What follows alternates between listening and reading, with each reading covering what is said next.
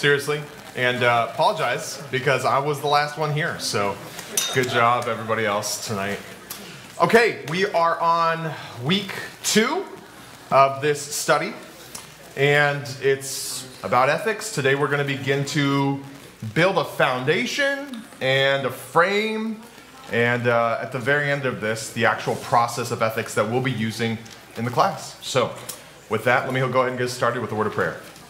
Lord God, I thank you so much for bringing us here tonight, for again giving us the opportunity to grow in our understanding of how to live a life that pleases you, that honors you, that is glorifying to you, that is good, Lord. And that's, that's what we seek. So, God, give us understanding tonight, we ask.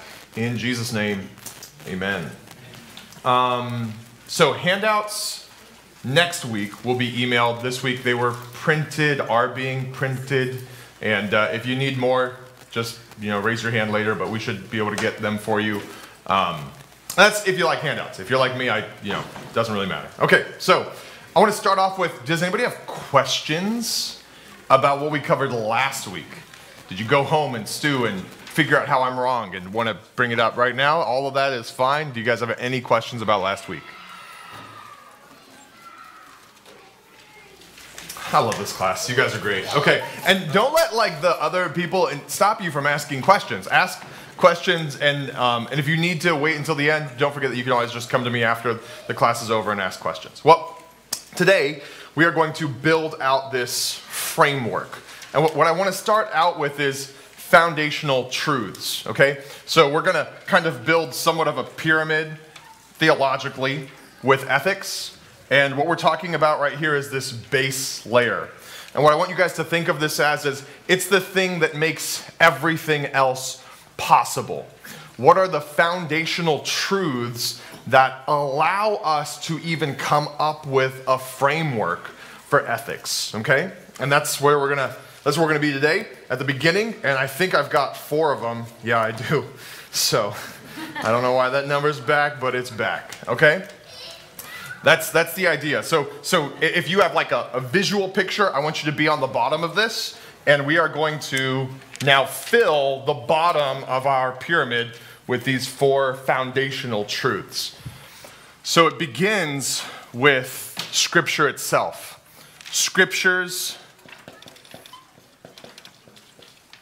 claims about itself. Whoops, about itself. That's where we're going to start tonight. It's the first foundational truth. We're seeing the Bible as the revelation of God. We believe that because of the person of Christ. Okay. When it comes to ethics, what claims does the Bible make about its ability to help us through ethical situations? All right? So the first text that we could look at is 1 Timothy chapter 3 verses 16 and 17, which you guys should have in your handouts and it says this, all scripture is God-breathed and is useful for teaching, rebuking, correcting and training in righteousness, right? We're familiar with that, so that the servant of God may be thoroughly equipped for every good work. What does that passage tell us about Scripture's claims with regard to ethics? What is the Bible capable of when it comes to ethical issues? Sorry? I'm asking the question. What, what claims does the Bible make about itself? Go ahead. It's our manual that we follow. It's our manual that we follow. Uh, so, so go back to 1 Timothy 3.16. Where are you seeing it as a, as a manual? What, what part of that says that for you? The first half, all scripture is useful for teaching, rebuking, correcting, training in righteousness. That's what a manual does. Sure, good. What else? What else do you see in this passage? Go ahead. Serve God, we will not be unequipped at all. Okay, so sorry, you're saying that in the negative basically of that, that last verse? Am I hearing that right? Try, trying to put that in the same, uh, by, by pulling it out of your scripture. Okay, good, good. The authority is God please. Okay, uh, good. So let's let's pull on that first. Authority, right? There is authority. Remember when we had last week the problem of doing ethics is that we can't have that everyone's going to an appeal to a certain authority, right? What makes scripture a reasonable thing to appeal to is who wrote it. God did. And because God wrote it, it is a reasonable appeal to authority. Okay? So we've got that. We've got, and I mean, they're all listed, I think, in your handout. Training for righteousness, right? So that's what it's claiming to be able to do, that it's, tra- it's able to train us for righteousness. Now, let me, let me ask you something. When, when you guys train, has anybody experienced training anyone to ride a bike, to sing a song, anything like that? Raise your hand if you've ever trained anyone. Do you expect perfection? No. What do you expect? Mistakes. Mistakes, yeah. So I, I want us to understand that the Bible is not expecting perfection. It's expecting us to grow, right? That's why we're being trained in righteousness, equipped for every good work. It, it tells us that we can be prepared, be given the tools necessary to live in good works. Uh, if we're looking for ethical perfection, if everything we could do is good, we're there. And the Bible is claiming that it is able to equip us for that. It also uses those two words, may be. In the Greek, there is a whole case called the subjunctive case. And any verb can be made into a subjunctive verb. And what that means is not that this is going to happen, but that it might happen. So here's the other really important part about this Scripture does not guarantee perfection, it doesn't even guarantee that you'll grow. It just makes it possible. Okay? So, the, the, the last piece that I want us to understand about Scripture's claims about itself is that it can make an ethically good, a morally right life possible. Just possible. Okay? Here's our second foundational truth. So, again, building the bottom of the pyramid. This is everything else is going to flow from this. Everything is ethical. Everything is ethical.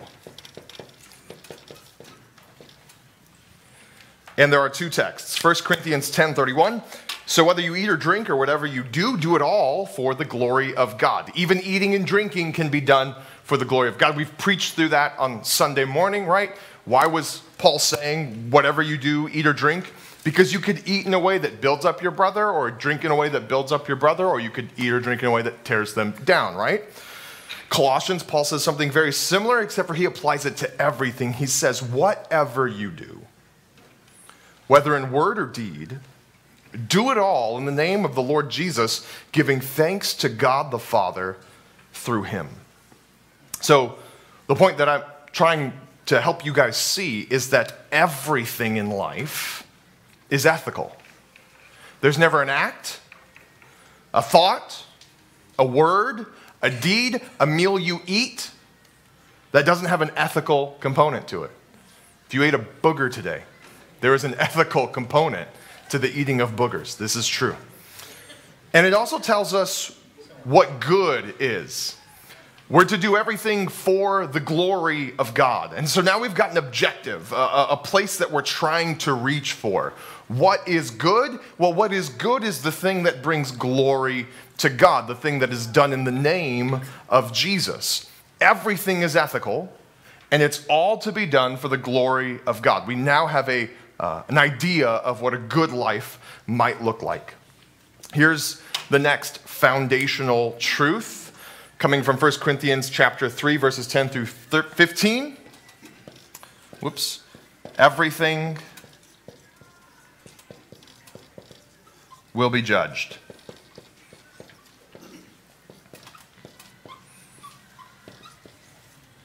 Everything will be judged. It's one of my favorite verses in the Bible. One of. By the grace God has given me, I laid a foundation as a wise builder, and someone else is building on it. But each one should build with care, for no one can lay any foundation other than the one that is already laid, which is Jesus Christ. If anyone builds on this foundation using gold, silver, costly stones, wood, hay, or straw, so all the different materials that can be used to build the, this work, their, their work will be shown for what it is because the day will bring it to light. It will be revealed with fire, and the fire will test the quality of each person's work. If what has been built survives, the builder will receive a reward. If it's burned up, the builder will suffer loss, but yet will be saved, even though only as one escaping through the flames. What do these verses tell us about ethics?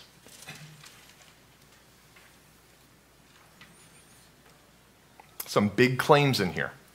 What do these verses tell us about ethics? Sounds like it's saying it's consequential.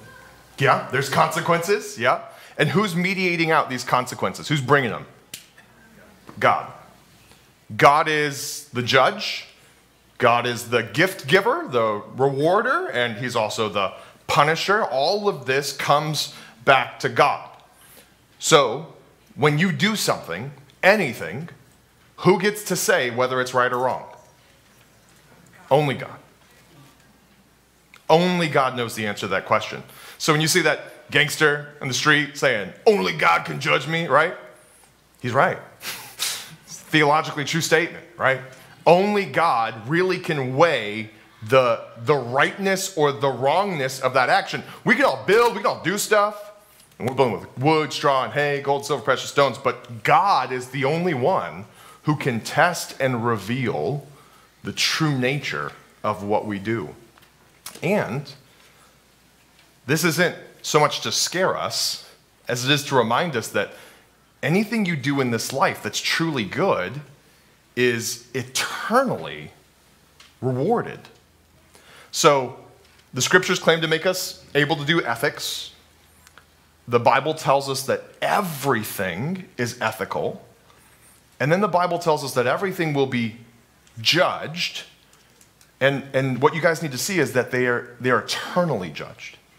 The implications of your booger eating today echo for all eternity. Okay? Stakes are pretty high ethically for us. Any questions on that? Is it okay then to perform good deeds in this life with the motivation of being rewarded in heaven for eternity? What do you guys think? Hey, raise your hands if you think it's okay to do that. Yeah? Wait, raise your hands if you think it's not okay to do that. What, what makes it feel like it's someone who said it's okay? What makes it feel like it's okay? God's promises. God's promises, okay? And what makes it feel like it's not okay? Motive. Motive. And what's wrong with that? Mo- who said motive? What feels wrong about that motive? Only God can judge the heart. Okay. Sorry? Self serving? Self-serving. Self serving, okay. Your reward will be here on earth instead of in heaven. Your reward will be here on earth instead of in heaven. Okay. I want us to just turn real quick to Matthew chapter 6, verses 19 through 21. Matthew chapter 6, verses 19 through 21. I don't have my Bible, which is shameful. Would somebody read that out for us?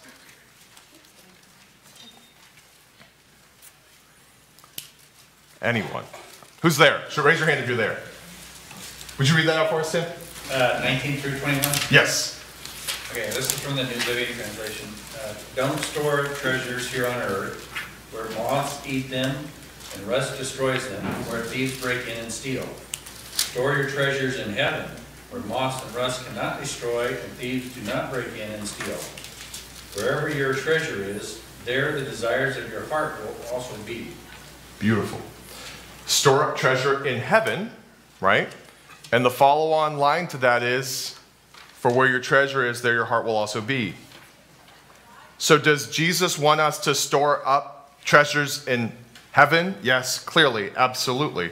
How does one store up treasures in heaven? What's necessary for the heart for something I do right now to have eternal significance? For God's glory? Yeah? What else? Motivated by love. Motivated by love? Yes, absolutely. Oh, why? th- Who wants to go to heaven? I'm just curious. Anyone? Anyone? Okay, cool. Why? Why do you want to go to heaven? Heaven's a wonderful place. What else? Jesus is there. Jesus is there. Hey, oh, there we go. He is my Savior to whom I owe everything. Okay, okay. So your desire is to is to be with Jesus. Believe it or not, guys, all the cool stuff about heaven, the gold, the rewards, all that, the the the, the coolest thing about heaven is actually God Himself. We're gonna be face to face. We're gonna enjoy Him. So when He tells us to store up treasures in heaven, where your heart where your heart is, right? The idea is that even now the desire of my heart is to be with God. And so whatever that reward is that, that Paul talks about in 1 Corinthians chapter 3, right, that we just read about, it, it has to do with uh, the desire of my heart, which is not just rewards unless the reward is God himself for all eternity. And so what many have said, and this very well may be true, is that the eternal reward of heaven is one's ability to enjoy God for all eternity. Does that make sense? So we could all be in heaven, and, and God will be infinitely good, don't get me wrong. But, but that the reward, if my, the joy of my life is God, and if the reward of heaven is Himself, then perhaps the, the, the reward then is my ability to enjoy God for all eternity, right? If I told you you were just going to eat one flavor of latte for the you know, rest of your life, you would want that to be maximally good. You'd want to be able to enjoy that infinitely good. And if I told you that that latte is infinitely deep in its flavor, infinitely deep in the ability to enjoy it, it you would want to go deeper into that. Right? We, we like TV shows and things like that because they make us feel good. Well, here now we have God Himself whose joy surpasses all of that. And the reward then for, for an ethically good life is this ability to enjoy God more deeply, more supremely for eternity. Very well could be the case. I think you're right. If, if your goal for heaven is just to be rich in heaven, you probably won't have many riches when you get there unless your riches are to enjoy God forever. And then I would say that you'll be a billionaire, or trillionaire, or gajillionaire whatever it turns out to be, right? So, something to think about. Yes, you should be motivated by reward, but the question is, what do I think reward is? Okay? Does that make sense? Because if reward is God, then I, I want to be able to enjoy Him maximally for eternity. And that should impact the way I live today. Questions? Won't our perspective also be different once we're there? Oh, certainly. We the crown, or just. Yeah. Absolutely. But don't think that heaven is this equal experience for everybody. That's one of the other dangers that we have. Yes, heaven will be completely different, it will not be equal. There is reward for good and a, and a lack for not doing good. So it'll be infinitely better than this, but don't think, well, it'll be infinitely better than this, so I'm going to live a sinful life. It will not be an equal experience in heaven. Go ahead. Regardless of what you have Yes. In, on earth in heaven, Mm-hmm. you will be satisfied. Yes, absolutely. So if you have nothing, almost nothing, you're not going to envy the guy or person Nope. that has everything. No, you won't. You won't. You won't envy him, but you won't have as much of as much as him, and that's the reality. He's going to have a better experience for all eternity than than you will, and, at the, and you won't be mad because he's got a better experience than you will. But I do wonder if we'll kick ourselves in the foot for how we lived our lives on earth. There'll be, no regret. As so, let's go back to 1 Corinthians. uh, We have an, we have to be careful. We have ideas about heaven. Let's go back to Scripture. 1 Corinthians chapter 14, uh, chapter 3, verse 14. If what has been built survives, the builder will receive a reward. If it is burned up, the builder will suffer loss, but yet will be saved, even only, even though only as one escaping through the flames. So there's gonna be a little smell of smoke. There's, it's gonna be a little smoky in heaven. Yeah, and I don't. I yes, to be a burn victim in heaven will be infinitely better, and you'll be a burn victim without sin. But it doesn't have to be that way.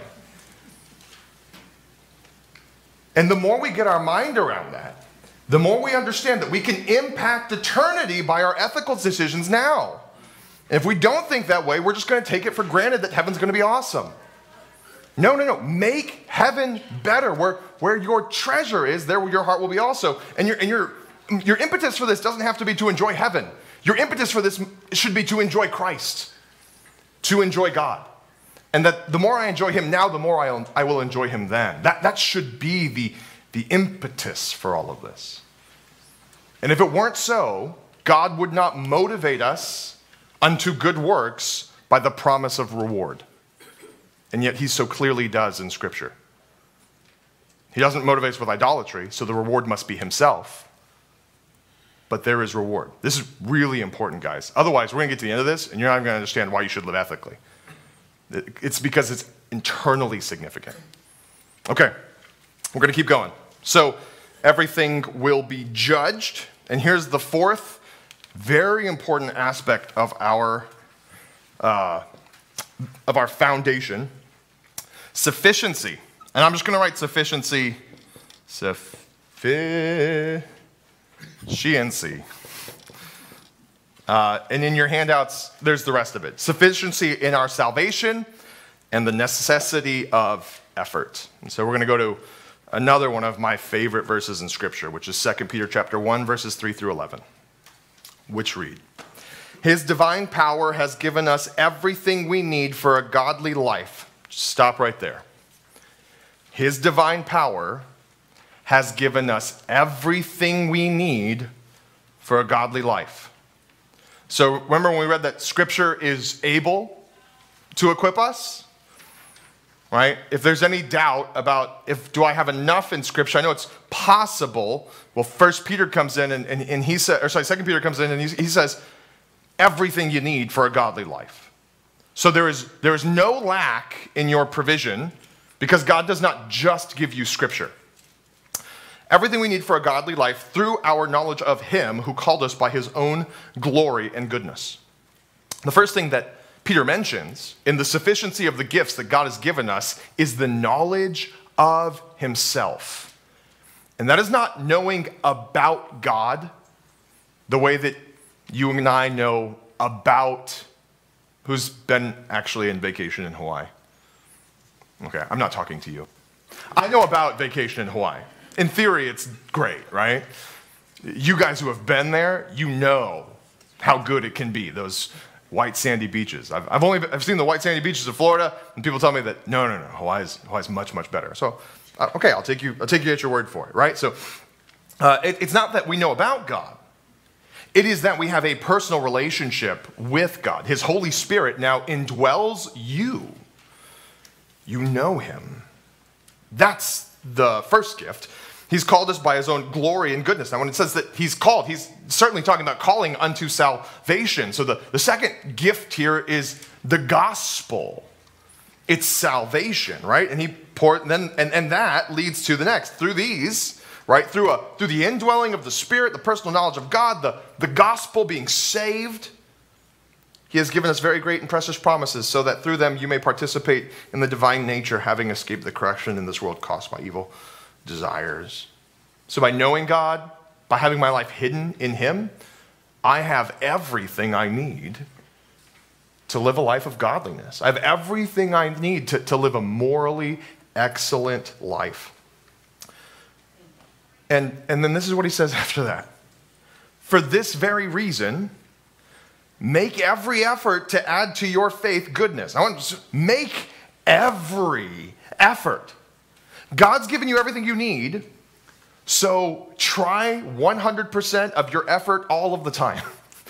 It's exhausting, right? Make every effort to add to your faith goodness, and to goodness knowledge, and to knowledge self control, to self control per- perseverance, and to perseverance godliness, and to godliness mutual affection, to mutual affection love. For if you possess these qualities in increasing measure, remember this is training, we're growing, they will keep you from being ineffective and unproductive in your knowledge of our Lord Jesus Christ. But whoever does not have them is nearsighted and blind, forgetting that they've been cleansed from their past sins. This verse, by the way, if you're like, why don't I grow as a Christian? Just keep coming back here. Verse 9 Whoever does not have them, whoever's not growing, is nearsighted and blind, forgetting that they've been cleansed from their past sins. It means they're not walking by faith in the gospel, right? And if you're walking every day by faith in the gospel, you will grow. And if you're walking by some other principle of life, if you've forgotten the gospel, you will not. That that I mean just come back to this all of the time. Therefore, my brothers and sisters, make every effort. There it is again, to confirm your calling and election, for if you do these things, you will never stumble, and you will receive a rich welcome into the eternal kingdom of our Lord and Savior Jesus Christ. So we have two things here. We have the sufficiency in our salvation, in the gift of the gospel, the God Himself, and all of those promises. We have everything we need for a godly life. And every ounce of your effort is also required. Now, that's like not something that we think of when, when you say, I'm going to give you everything you need. You're thinking, like, I'm moving from Louisville to um, Yakima and Westside Church says, We're going to give you everything you need to move. So I'm like, Well, of course, then you're going to have a shipping company come out, and you guys are going to uh, have movers come out, and they're going to move all my stuff and box it up for me, and then I'm going to come over here, and you're going to have another company that's going to, and they're like, No, no, no, we'll pay for a U-Haul, and that's everything you need, right? Because you're going to put in the effort of boxing everything up and putting it in the U-Haul and bringing it. Actually, I think the church would have done that. I just didn't ask the church to do that. That seemed lazy. Anyway, that's what God is saying here to you and to I that everything we need for a, life of godliness is here. And remember, that's significant because when we go look at the Old Testament, it's really hard for these people to live a godly life. They can't do it. They couldn't do it because what they needed was all of the gifts that come to us through the gospel, but now they've been given. So you are capable now of living a holy life, but it's going to require action, it's going to require effort and lean on the promises. Bank on the promises. Depend on the promises. Your prayers should be filled with reminders to God of His promises that He's made to you. Lean on those things. He promises strength. He promises not to let you be tempted beyond what you can bear. He promises to make you wise and discerning. He promises to produce in you spiritual fruit. He promises to give you help and peace and joy and comfort. And you got to go back to God with all those promises and say, You said it. Don't dishonor your name, Lord, by forgetting or neglecting to give me the very thing that you've promised. You're a faithful God. Be faithful now. Pray that way to God. And don't forget your responsibility to grow. Make every effort. The good news is, Philippians chapter 2, verses 12 through 13, that as you work, that might be 11 through 12, not 12 through 13, I apologize. That as you work, God works in you. Uh, so the way that I kind of explain this is you know, if you put 100% of your effort in, it, it, probably wouldn't be enough. But as you put 100% of your effort in, God is working and willing in you, and He takes that 100 and He makes it something much, much greater. Much, much greater. Right? O- oh, able to overcome temptations and all sorts of, of terrible things, right? So that's the last piece is sufficiency. Now let me add to that, at least up on the board, sufficiency and effort. These are four foundational principles for the structure that we are now going to build for Christian ethics. So you know, the, the Bible is filled with lots of verses. How did I decide that these four passages were foundational for Christian ethics? I just decided, okay, I'm not I'm not infallible. If you think of more, you know, foundational elements of this, good. Incorporate them. This is not the end all be all. These are just as I survey scripture when I think about foundational truths. These are for me what support what comes next. And if you have more than that, that's completely okay. If you're, if you're saying, hey, Joe, something's missing up there, you're probably right. Okay? It's all, it's all good. Questions?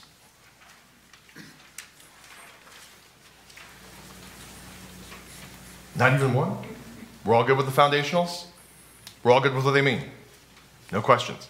You guys are going to live perfect lives. Go ahead. Not, not question, I Yeah. guess with the making every effort, it seems like the, the biggest thing for trying to make every effort is to deny the old human nature. It's a big part of it. Make sure that that is a controlling, that you do remember that you were bought with a price, that you have, to have a new, Absolutely. Yeah, when we look at, I mean, what did Peter say? He said that if you're not growing, it's because you forgot. so much of make every effort is to walk daily in the new truth of the gospel. A lot of the effort's just remembering. A lot of the effort's just remembering. Remembering that the old man is dead and the new man has come. Yeah, amen. Amen. Okay, yes?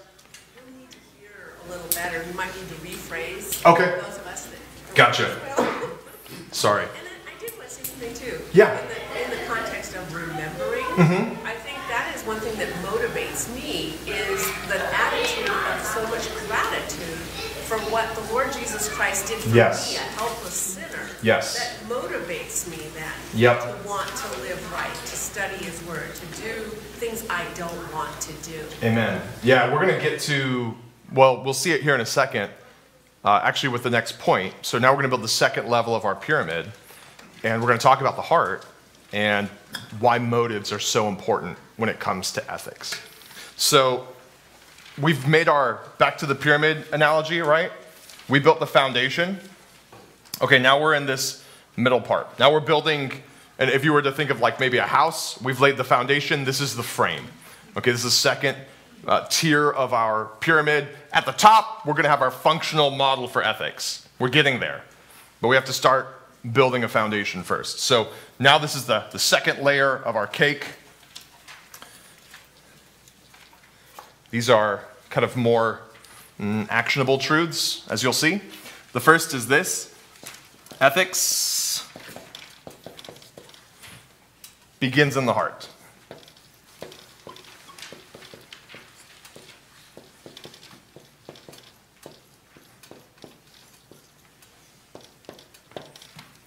Ethics begins in the heart. It's a inside out endeavor. It's why, you know, when we talked about like we're not gonna we're not gonna do ethics in the petri dish. That's like outside out. You're like, I'm gonna decide what's right out here, and I'm gonna apply that to everybody else. Uh, as we're gonna see biblically, that's that's not where ethics lives. Ethics starts here. That's again why the purpose of this class is to help you live a morally excellent life, um, not to, for us to go judge unbelievers about whether or not they abort their, their babies or believers about whether or not they get abortions, because that happens too, guys, right? So we're going to talk about uh, inside out ethics. Matthew 23, verses 23 through 28. Man, this, this is so important for ethics, so important. It's almost foundational, but it's not. It's built on, on what we had already. Jesus is speaking to the, the Pharisees. He says, Woe to you, teachers of the law, you Pharisees, you hypocrites!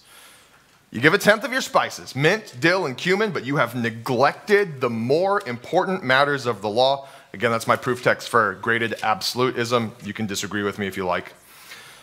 Justice, mercy, and faithfulness, you should have practiced the latter without neglecting the former. You blind guides, you strain out a gnat but swallow a camel. Why is Jesus so mad? Can anybody tell us why Jesus is so angry with these people? Injustice? Injustice, good. Not just injustice. What's the part of it that's really making him upset with, with, with the injustice? Hypo- hypocrisy, right? So you, you preach justice, but you rob the widow. That's what, you know, that's the aspect of the injustice that, that he's so upset about. You, you give a tenth, right, of your uh, mint, of your dill, of your cumin, of your spices, but you don't practice justice and mercy, faithfulness. You're blind guides. You strain out a gnat, but you swallow a camel. Woe to you, teachers of the law, you hypocrites. Verse 25, you clean the outside of the cup and dish. Here is one of the most important aspects of building an ethical framework. But inside, they are full of greed and self indulgence. What does that mean? When Jesus says you clean the outside of the cup, but inside you're full of greed and self indulgence. What does that mean? About appearance, appearance. Yes. They're, they're if, outside, how do they look? Beautiful. Shining. They look like whitewashed tombs. That's what's going to come up in a little bit. Yeah. They look like West Siders. Man, we look good. But inside, they are not like West Siders, right? inside, they're full of greed. Their motivation is off. It's about themselves, self indulgence. Blind Pharisee, here's the ethical principle first clean the inside of the cup and dish, and then the outside will also be clean. Jesus obviously is not talking about the dishes in your kitchen, right? Because y'all know that that ain't true, right? Don't ever let me come to your house, invite me over for dinner, and say, I learned how to wash dishes from Jesus. Please. If the outside of the cup is dirty, it's just dirty, right? What, we're not talking about cups. We're talking about humans. What's the implication of that statement? That if you clean the inside of the cup, the outside will be clean as well. What is the moral implication of that statement? What comes out? Okay. What comes out If it's clean inside, what out? what comes out will be clean.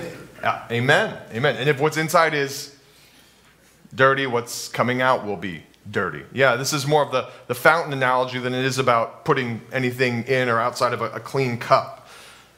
His point is that if you have a right heart, that you'll have a right action. And that is a bold, ethical statement. Incredibly bold.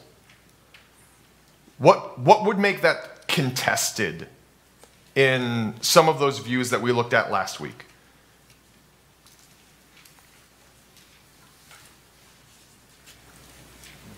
All the ones last week come from outside. S- yeah, so what, what, what, um, what, what view of morality in particular is antithetical to this? If I do good works, Sorry? if I do good works, I, you know, all on the outside. Okay. But there's nothing inside. So there are there were models of morality that totally ignored the heart. That said the heart is completely irrelevant. The only thing that matters, yep, the only thing that matters is the act. Or sorry, not the act. The only thing that matters is the consequence, right? When we looked at utilitarianism, remember we looked at, consequentialism? They don't, they don't care about the heart. Your heart has zero effect on the morality of a situation. The only ethical principle that matters is did it lead to good or did it lead to harm? What Jesus is saying is that if the inside of the cup is clean, the outside will be clean as well. Which means that as a Christian, you could make a choice because the inside of the cup is clean that leads to great harm for people on the outside, for other people. And that it could still be morally right. As Christians, we can make decisions where the inside of the cup is clean, the heart is right, and there are terrible consequences for other people and still be morally right. Can anyone give me an example?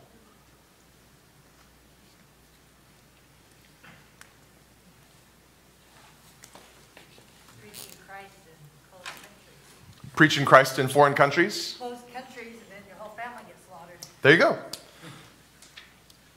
Hey, Cass. I feel like God's called me to go to Iran. Hey, Joe, let's talk about that. Why do you want to go to Iran? Well, because all the cool missionaries are going to Iran, right? Okay, we got a problem, right? Bad motives, right? No, no, no. Because uh, I, I have an incredible burden for the lost in Iran. I know that this could mean that we would die. I understand that, but I, I cannot not do this, right? God is calling me to this. I want to honor him. I want to obey him. And I feel like if I don't obey him, this, this will be sin for me not to go to Iran. And Cass says, Well, we're coming with you. Because I, I am certain that God has called me to be your wife and that we're a family. And no matter what happens, we're, we're going we're going to follow this call. And then the family goes to Iran. And we all get killed. Or let's say I survive, but my wife and my kids get killed. Have I sinned? Have I done something evil? No, I haven't, which is crazy, right? Because the world would say, yes, you have. You needlessly got your wife and children killed. And yet, the other option of not going to Iran for that person who's been called would have been the sinful action. The action that preserved life would have been the sinful action. We are not consequentialists as Christians. We are not consequentialists as Christians. We don't bow down when the king of Babylon says, bow down. We get thrown into furnaces.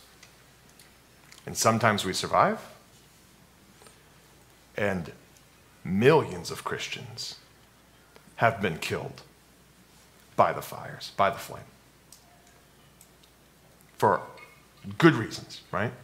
So it is so important that we understand the, the, the weight of Jesus' claim here that you clean the inside of the cup and the outside will be clean too. That if you make the right decision in your heart, that the act is good. That's an incredible statement, incredibly bold statement.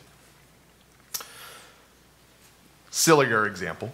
Oh, sorry, go ahead. Question in the back. Yeah, Joe, uh, expand on that more, that's, that's a good concept, but I'm just thinking, most of us aren't gonna go to Iran, No. but some of us are gonna have a family member or a family situation where we speak out, Thank you.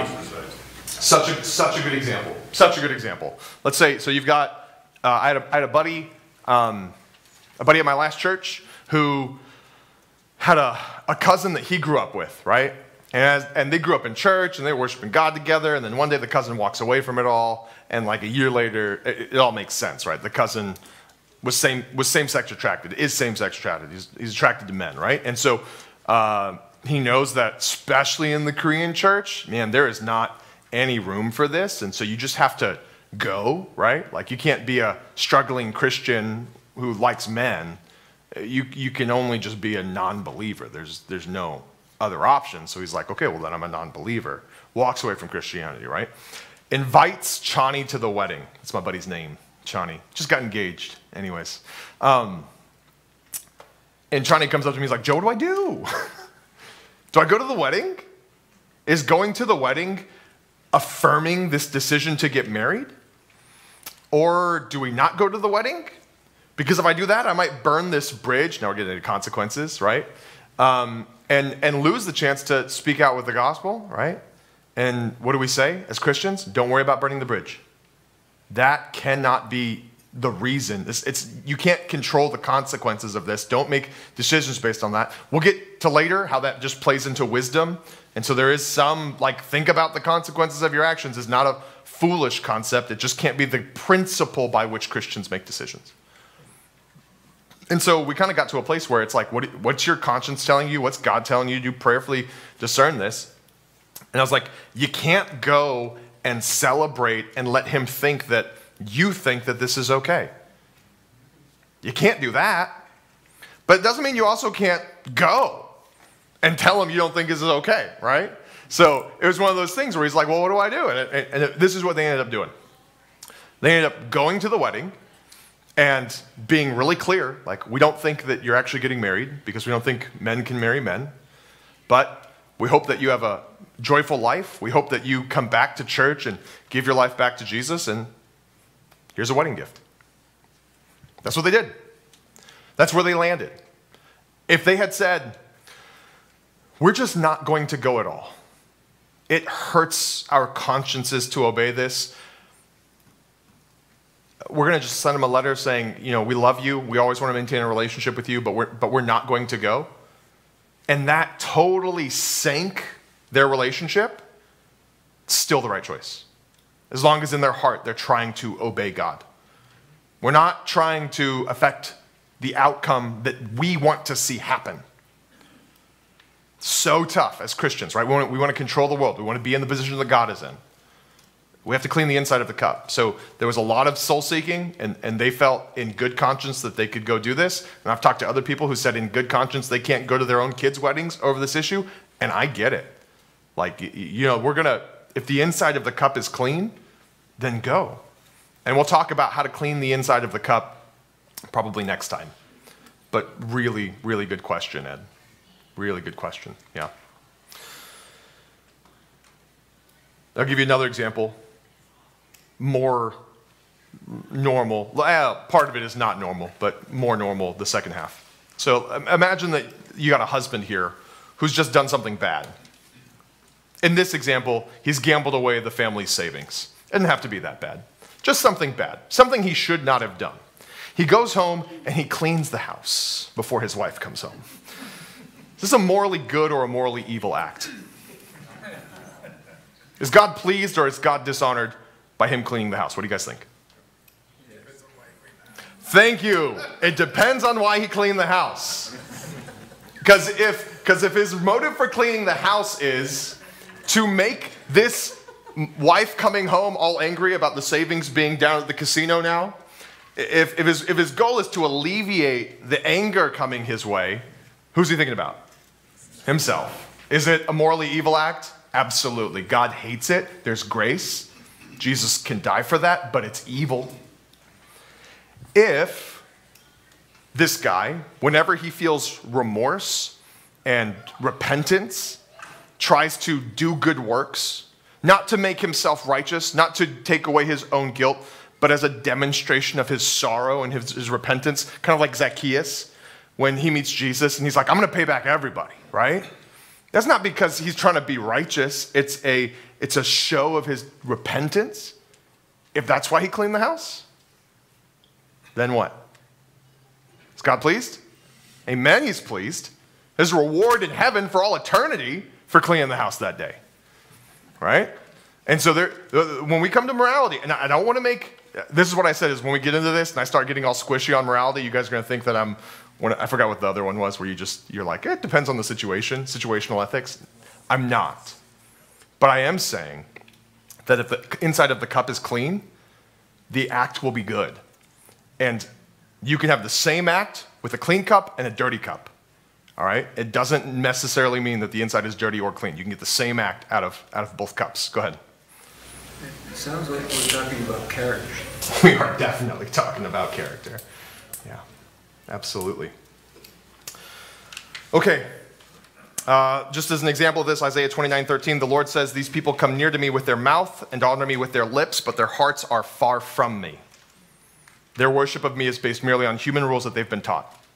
You've been taught to go to church, to sit in that service, and to sing praises to God. But that worship of God might be merely based on human rules. Real worship is when the heart is the reason that the songs of praise go to God. That's real worship. And the, the opposite is, is not. Okay? When the, when the scriptures speak of the heart, we're going to use the word heart a lot. I'm going to just tell you this right now. We'll unpack this more later. Don't think of the heart as just the emotions, the seat of emotions. Often, when the Bible says heart, it's referring to your mind, it's referring to your will, it's referring to your emotions, it's referring to every aspect of you that's not physical, that that immaterial, I guess physical, but the, but the immaterial side of you. All of your thoughts, all of your emotions, all of your will is bound up in that word heart. And uh, I'll, I'll make the case for that at a later point. But when he says their hearts are far from me, don't think just emotions. That, that's also thoughts, that's also will. Okay, it's, it's all of you. Bottom line, we have to have right hearts to perform right acts. Without right hearts, you can't perform right acts. So that's the first piece of the second aspect of our pyramid. I want to remember, I want to remind you of two things. Although we're going to talk about the conscience a lot, the conscience is a tool. And it's a very sensitive one.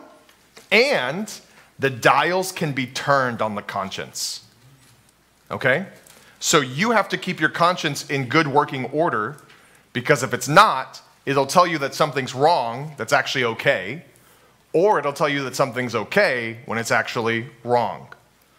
What is one way where our consciences lead us into trouble all the time as Americans? How fast we drive. How fast we drive. Woo! I've heard so many theological reasons for why that's not a sin, and they all fail. I just want to be clear. When you speed home tonight, Jesus is dying for that. Uh, yeah, money. How about the way we use money? Jesus says, if you got two jackets, give one away. I bet all of you, like myself, own way more than two jackets. So remember that the conscience is a tool. Oftentimes, people will cite their conscience as a reason not to do something that actually they just don't want to do. and their conscience isn't tuned, it's not dialed in properly, and they're not going to fix it. Like, I kind of like having a misdialed conscience. It gets me out of this situation that I don't like. Be very careful with the conscience. The second is that the heart is beyond searching out. So, a big part of what we'll do next week is talk about how we can raise awareness of the heart. But I want you to know that there's a limit to that. You can't know the depths of your own heart. 1 Corinthians chapter 4 verses 1 through 5, Paul says, "I don't even judge myself. Now my conscience is clean, right? He's examined himself, he's done his best. But he's like, I don't know the depths of my own heart. Only God knows that." Same thing with Proverbs I think it's Psalm 16:2, maybe Proverbs 16:2. I think it's Psalms though. Um, of a uh, David says, like God revealed to me my my secret sin, right? He says, who can know who can know the depths of a man's heart? Who can know the, the sin in a man's heart? So just remember that, like, I, I do want us to raise the awareness of our hearts, but that you'll never know your heart fully. So I want you to think about that for a second. What I just said was your job is to clean the inside of the cup, and that you can never know whether or not the cup is actually clean or not. What does that do for us ethically?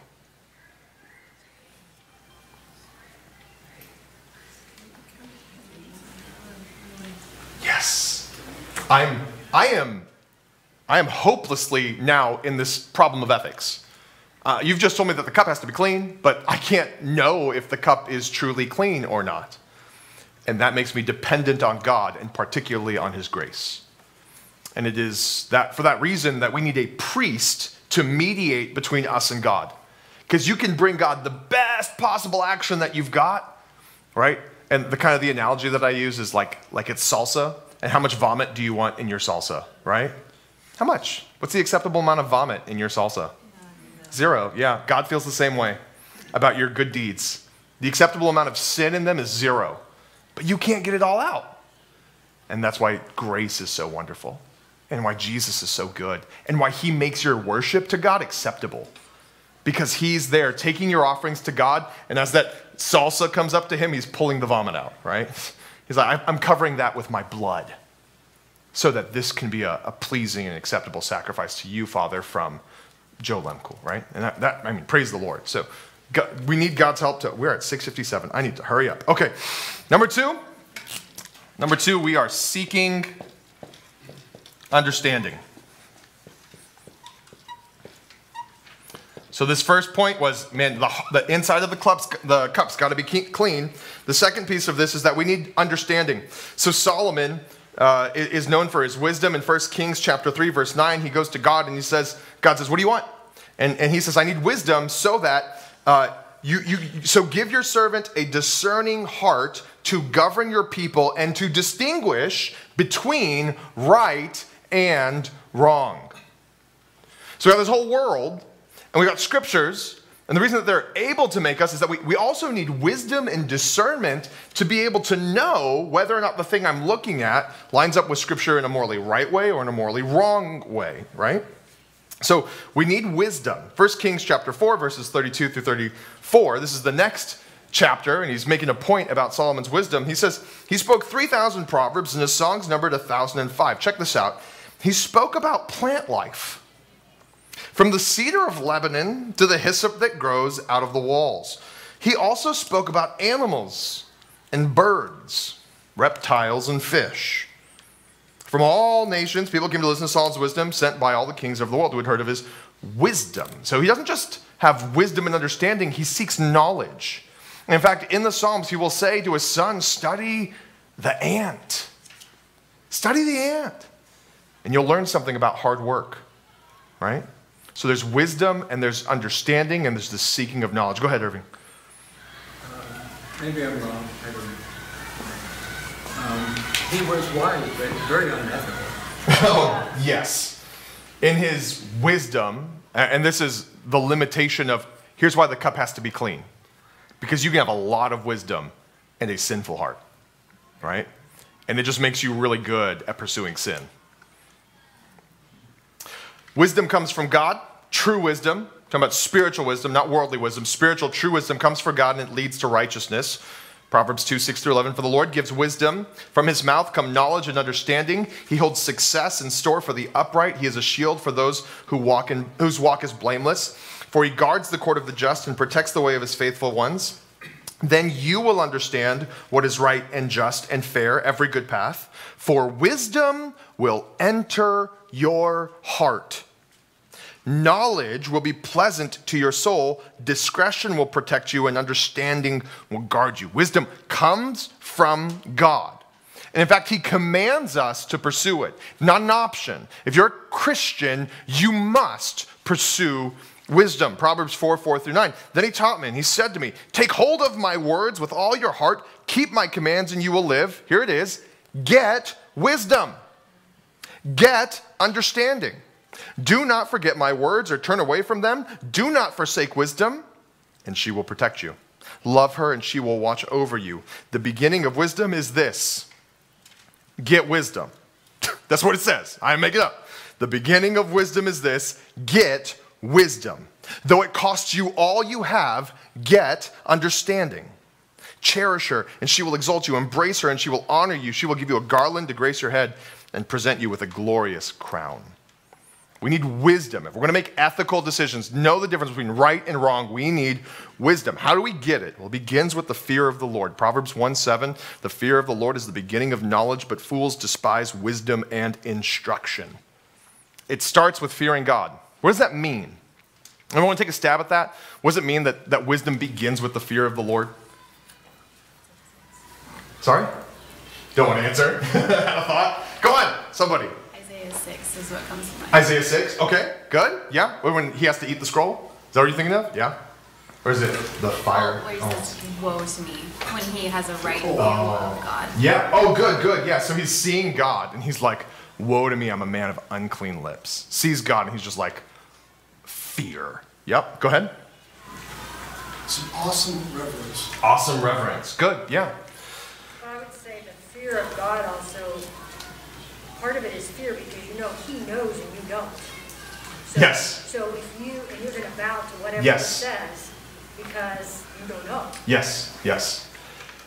All of, all of this is absolutely true. It is to recognize that God is holy, He's just, He's all powerful, right? But it's one thing to know those things. When the Bible says in verse Proverbs 1 7 that the fear of the Lord is the beginning of wisdom, what that means is to say that to, the fear of the Lord is the beginning of wisdom, that you take all of those truths and they become your worldview.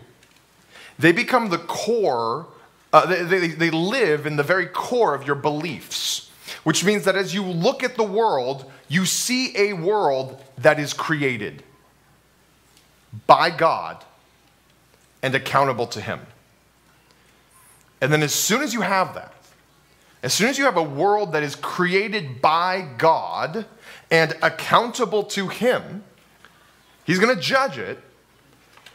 Now you can begin the journey of wisdom.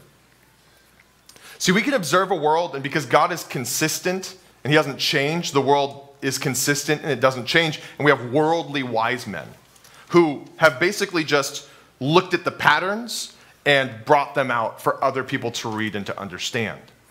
But the reason that that's different than the, like this wisdom, which comes from God, that's the fear of the Lord, is that they don't understand the underlying principle for why that is. And that is that God has created the world, that God keeps it up, and that God will have everyone give an account. So we have to have this worldview that has God at its center. And then, once you've got that, you can begin to gain wisdom. And you gain wisdom by listening and seeking. I'll read some Proverbs. Proverbs 12, 15. The way of the fool seems right to them, but the wise listen to advice. If you go read the Proverbs, circle every time you read the word listen. It is everywhere. You gain wisdom when you stop talking. I know I should stop. And you start listening. Proverbs 15, 14. The discerning heart seeks knowledge. There's seeking involved, but the mouth of the fool feeds on folly. To gain wisdom, you, you must seek knowledge. You must seek wisdom. You seek understanding. Uh, Proverbs 15, 12. The plans fail for lack of counsel, but with many advisors they succeed.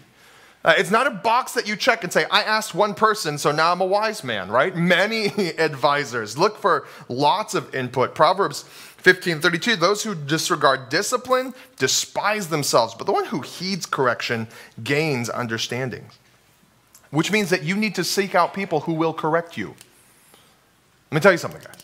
If you don't have people in your life who are going to correct you, you're a fool. You're a fool. I want you to think about the people in your life. If you got no one who correct you, or if you know the people who correct you and you avoid them, you're a fool. The wise man loves to find out that he's wrong. Loves it, right? Because if I, I, don't, I don't want to be wrong. I don't want to think improperly. I don't want to have bad ideas. I want to, I want to be right. I want to do what's right. If you don't feel that way, if you just want to feel right instead of be right, then, then you're a fool. You're a fool. Proverbs 18, 15. The heart of the discerning acquires knowledge, for the ears of the wise seek it out. If you want knowledge, right? Uh, sorry, sorry. The wise person will acquire knowledge.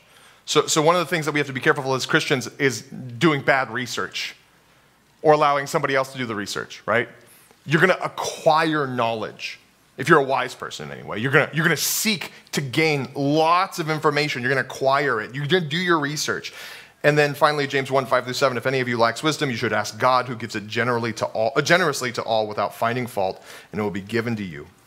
When you ask, you must believe and not doubt, because the one who doubts is like a wave of the sea blown and tossed by that wind, by the wind. That person should not expect to receive anything from the Lord. Such a person is double-minded and unstable in all they do. Above all, we need to pray and pray with right motives to God to give us wisdom, and he will give it. There's lots to say. Here are the closing thoughts.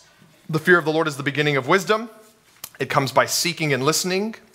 Good seeking and good listening will include people who will disagree with you and correct you.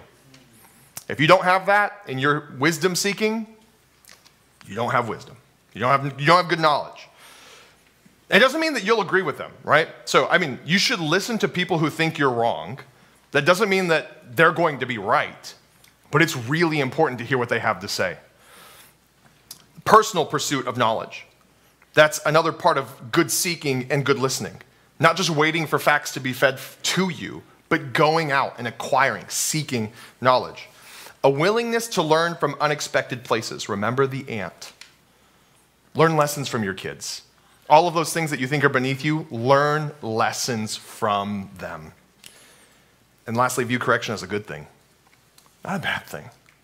I want to be corrected. I, I want to actually be sure that, that what I know is what I know. I, you should love it when people poke holes in your thinking. It's part of being a wise person, someone who seeks understanding. Questions?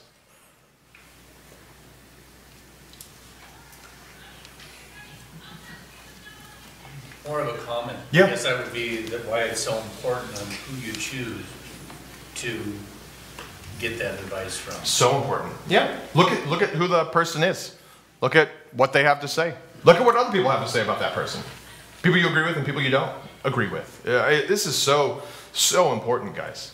Um, I think a, a lot of times as Christians, uh, uh, you know, so I, I remember my dad, and he's not this way anymore, but at one point he said to me, I don't, um, I don't really go back and double check John MacArthur.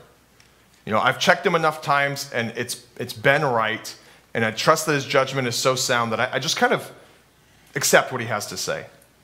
And my dad's being really honest, but what he's doing is what a lot of us do, right? Hopefully, I've scared you enough in this class so that you don't do that with me. Don't just trust what I have to say wholesale, ever, anybody, right? Like, always judge what we're listening to. But if you're looking for advice, if you're looking for counsel, go to someone that you believe is wise. Just don't accept everything that they have to say. The last part, last piece of our middle portion of our, of our pyramid is living in worship. And this one's a little more straightforward. Romans 12, 1 and 2. Therefore, I urge you, brothers and sisters, in view of God's mercy, to offer your bodies as a living sacrifice, holy and pleasing to God. This is your true and proper worship. Do not conform to the pattern of this world, but be will be able to test and approve what God's will is, his good, pleasing, and perfect will. One of the principles that we started with, the bottom pyramid of, of the bottom of the pyramid was that everything is ethical. Everything is ethical. I'm supposed to do everything for the glory of God. the outworking of that concept that everything is ethical is, is Romans 12 1. It's worship. I live my life as a pleasing sacrifice to the Lord. I live my life to bring glory and honor to Him. And when I do that, when I become this person who lives sacrificially in worship to God, I have brought everything in life into that sphere of morally good, of ethically right. I become a living sacrifice. And, and so much of that is obedience to the will of God, which is why he immediately ties it to the will of God, right? Verse 2 Then you'll be able to test and approve what God's will is his good, pleasing, and perfect will. God didn't write a Bible that's going to have what you should do exactly in every situation in life. And so, what Romans 12, 2 tells us is that we have to have some sort of an ethical framework in order to do what God wants me to do as I drive home. Because there's no Bible verse about whether or not I can go 40 or 45 or 35 on some of you, right? So I need to find out what is God's pleasing and perfect will. And Romans 12:1, you're going to see in what's ahead is, is really providing for us a system for us to use ethically. So uh, I'm going to close tonight with the final, the, the top of our pyramid, and we'll pick up with that uh, next class. But you'll see some overlap here. This is going to be the framework. This is going to be the steps that we'll use to think about ethical things in this class. Number one, examine your heart and context.